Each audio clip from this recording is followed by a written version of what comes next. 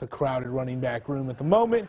That right now looks to be led by guys like Richard Reese and Sqwirl Williams. Fifth year senior Josh Fleeks is now in the transfer portal as he went to Twitter and seemed to confirm the news through a retweet on his account. This after he played in 45 games during his Baylor football career and accounted for 795 total yards and five touchdowns in the green and gold, highlighted by a sophomore season, which he racked up 289 total yards and two touchdowns.